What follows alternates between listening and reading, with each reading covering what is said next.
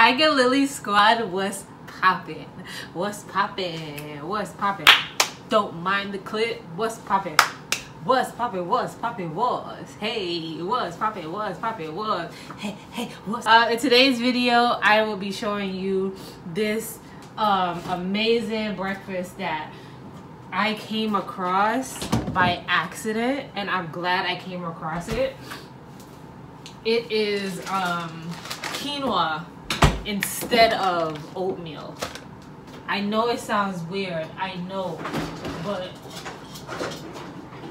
before you judge it, I'm telling you, give it a try. It is so good. It's filling and um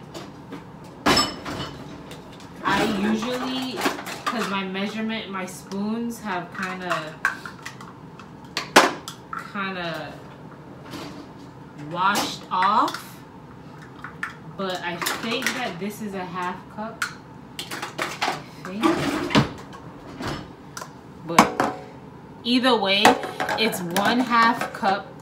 But before we get anything started, don't forget to like, comment, and subscribe.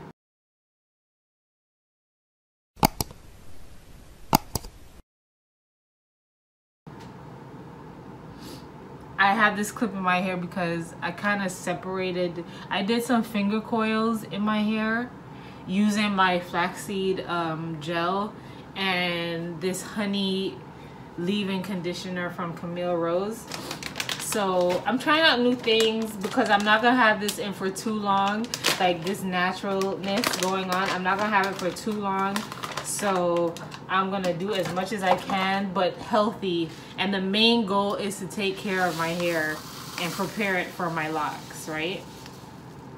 So it's one cup to two cups of milk. So if, I don't think I wanna make that much. So half cup to one cup. Okay. Okay, I got it.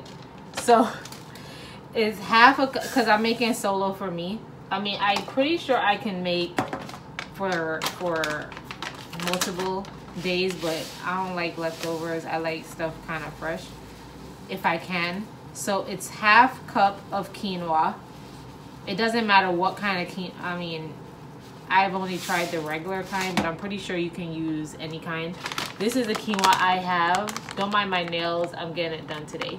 But um, I got that from Kroger.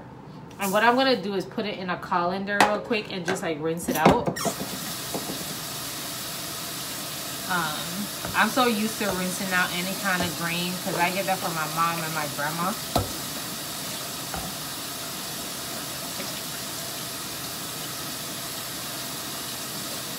Okay, so once the quinoa is washed, um, just get a small pan put that inside. Let me get a spoon because that's wet. Rushing because I'm so hungry. Y'all saw my what I eat in a day and how that, um, I mean, I was being realistic. Like, usually that's how my day goes. And then I look at the time and I'm like, bro, you didn't even eat, fam. Like, that's not cool. You gotta eat. So put this on the stove and we're just gonna like toast it um, just to get all that water out.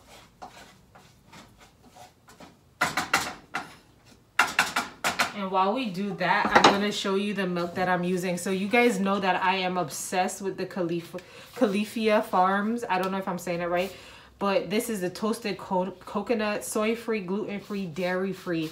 Um, and I've been using this brand forever mainly because I stopped drinking milk a long time ago. I don't remember what I watched, but what I watched, it like it kind of made sense. Like, okay, why we why milk milk that milk is not made for us. So why are we why are we drinking it?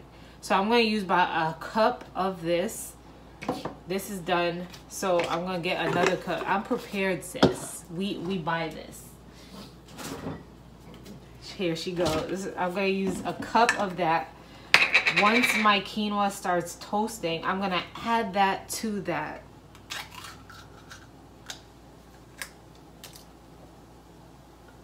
Once you hear like a popping noise, you know that your quinoa has finished toasting.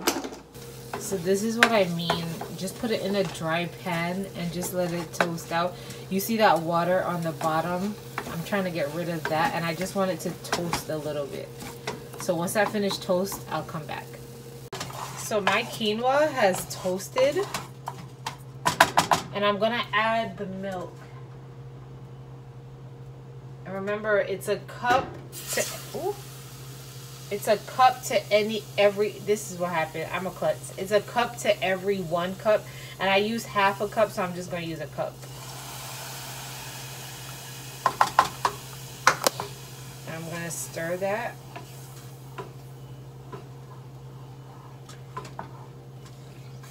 And then because this is supposed to be like a fake oatmeal, we have to add some kind of sweetness. So I'm gonna add, do better Shay. I'm gonna add a tablespoon of uh, maple syrup. And this is what I got. This is also a Kroger, from Kroger. If you guys have a Kroger, the GOAT. I love Kroger.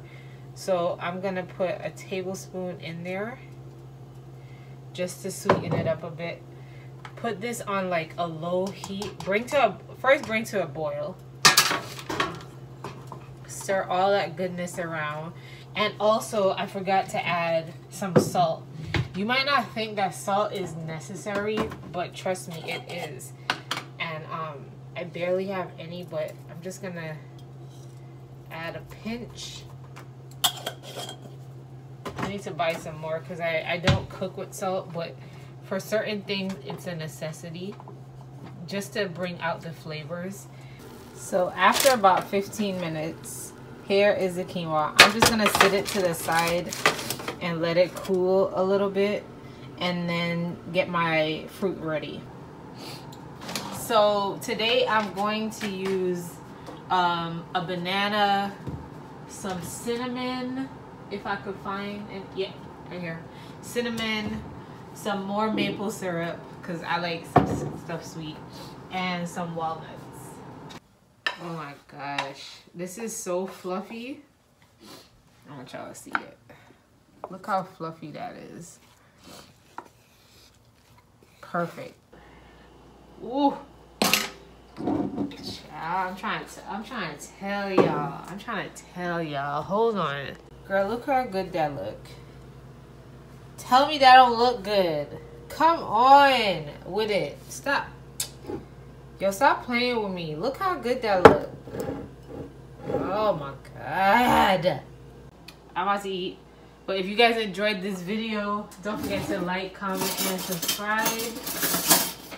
If you want to see more cooking videos and follow me on my health journey, put it in the description box below it's a lifestyle, yo. It's a lifestyle. And sometimes it ain't easy, but we doing it. We doing it. Anyways, y'all, I love y'all so much for watching. See you later, Ladies. Toodles. Uh, crash course. Let me hide the money in the dashboard. Max mad, could you lost the brick inside the Porsche? Goofy with